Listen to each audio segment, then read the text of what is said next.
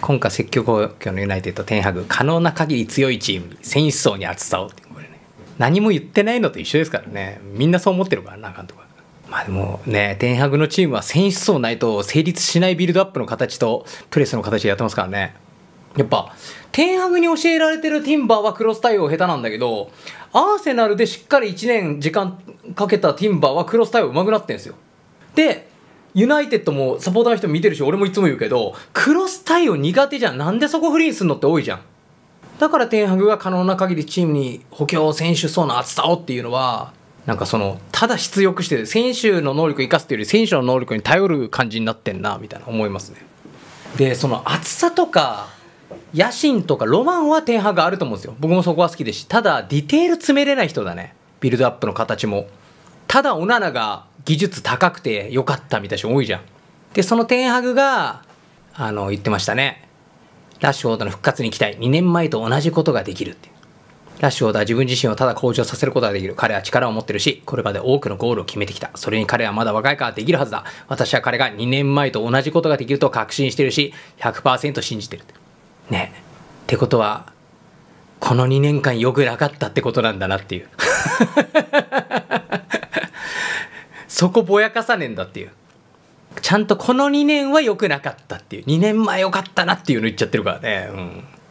で僕はもうあのフォワードチームのメンタルが、うん、なかったり薄い選手っていうのはチーム全体に悪い効果をもたらすと思ってるんで。僕はラッシュフォードから脱却できるかどうかってユナイテッドのめちゃくちゃ重要なところだと思いますね。お家で使えるか使われるかどうか分かんない。基本中心はメイヌとウガルテ来たらウガルテだけど風見ろはそんな使われないと思うんだよね。風見ろよりもアムラバトの方がいい、うん、現象としてもいいしね。テンハグのサッカーだとね。ホイールンド・ザークツイってね2人一緒に使うとしたら縦に並べるのかね4231っていうかあのユナイテッド見たらあれだな。あのあれ名前なんだっけ？あの選手すげえよかったな若手のさ。なんかね風見ろがめちゃくちゃプレス体制自分でないのも知ってるから隠れるんすよ。パス出されないように。で厳しいパスつけられて失うみたいな。でこれはもうずっと俺風見ろ取る時から天白のサッカーのアンカーじゃないっていう。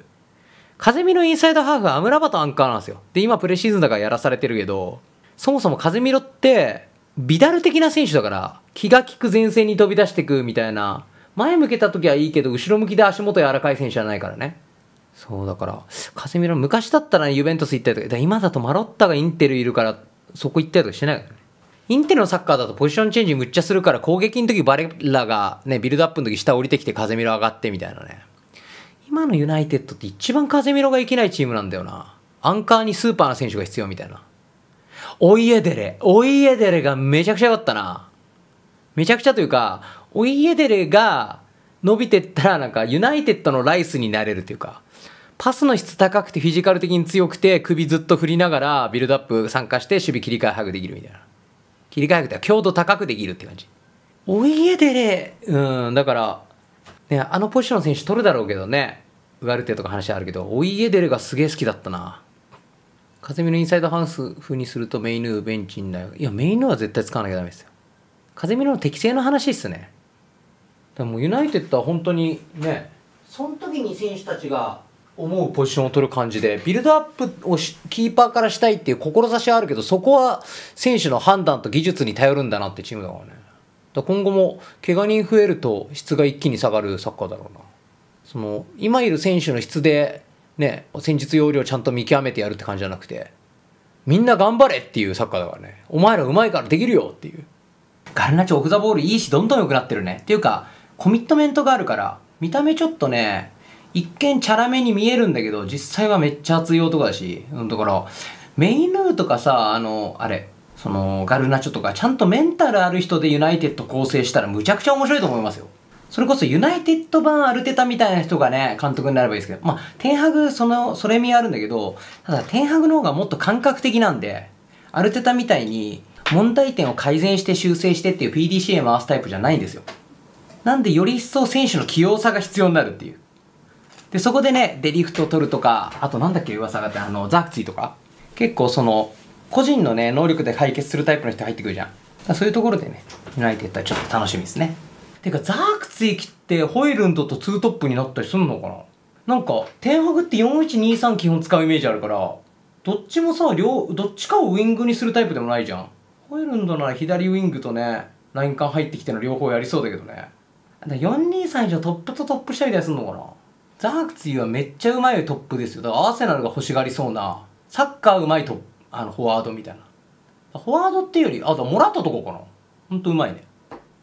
橋本やらかいラッシュフォードもうちょっと守備貢献欲しいけどな、ああいうとこな。ホイルンド変えるんだ。レギロンからホイルンド残した状態でレギロン入れたの見たかったね。で、ラッシュフォード真ん中じゃないこれ。ひょっとすると。いや、そのくらい、ラッシュフォードって特別なんだろうな。あのオンザボールのあのスピードとか。まあ何よりアカデミーさんなのかなと思うけどね。ラッシュフォードに戻って守備しろっていうにしないから、結局ガルナチョ戻って守備させんだろうけど。いやー、ラッシュフォードの時代って暗黒時代だったなってなりそうだね。ラッシュフォードを残すためですよ。ラッシュフォード残してガルナチョ入れるんだったらホイールド変えるしかないから。で、レギュラーいるとニアゾンランするからさ、とか、内外走り分けるから、サイドからクロス入りやすいからホイールドいるのでかいっすよ。あと、この辺ね、緩くなっちゃうのやっぱ風見るいるとなって思うよね。そのぐらいラッシュフォードって特別なんだろうな、今のユナイテッドで。まあね、超可視化型選手ですからね、ラッシュフォード。ウィングに置いといたらシュートまで行ってくれるからね。シュートまで行く力は三笘以上ですからね。ウィングでの。そこでの判断とかは別として。サンチョとかロナウドとか、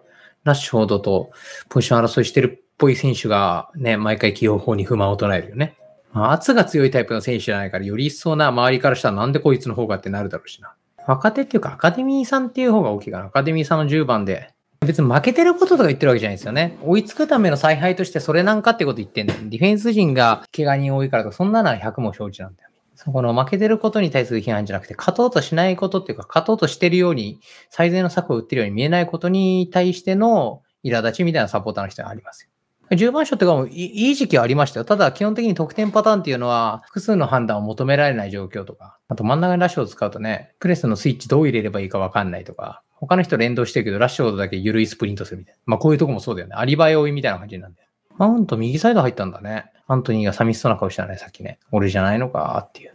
点取ってる時でも裏の抜け方とか細かいところはずっと下手だ。そうそう。でも、やっぱ結果でね、やっぱサポーター甘やかしちゃうからな。かといって厳しく言ったからって変わるわけじゃないから、まあそういう選手はそういう風に使うしかないんだけど。普通にちゃんとデータみたいなの活かしてほしいけどな、ラッシュフォード真ん中の時にいいサッカーしてるユナイテッドなんて基本ないんだからさ。なんかオフサイド取らないでくれたとかそういうことないときついじゃん。いや、ハーランドいいやつ。ハーランド、その能力持ってていいやつだともう面白くないよな。なんか弱点あってよみたいなさ。でかくて強くて速くて上手くていいやつって。しかも酒飲まないんでしょ真面目なんでしょガルナチョが育ってくるともう、ハティにとってのヤマルみたいな感じでさ、もうアカデミーさんのさ、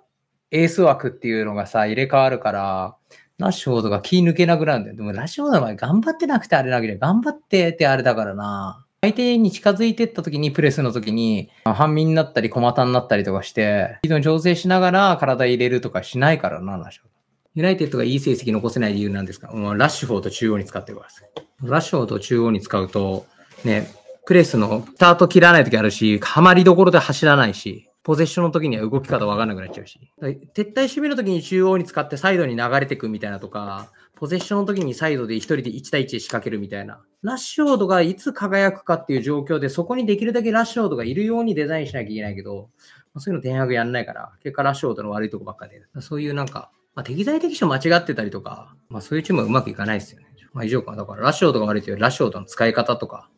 ラッシュードが輝く状況を、まあ、分かってないっていう感じかな。私、レオザフットボールが監督を務めるシュアーボ東京では、毎週水曜、金曜、19時間の練習でセレクションを開催しております。場所は都内近郊、シュアーボ東京で25万人以上に見られながら、報酬をもらって本気でサッカーしませんか？多くの関係者が見るチャンネルですし、シュアボから J リーガー輩出を目指す僕らとしては、ステップアップも大歓迎です。概要欄の URL からのご応募、お待ちしております。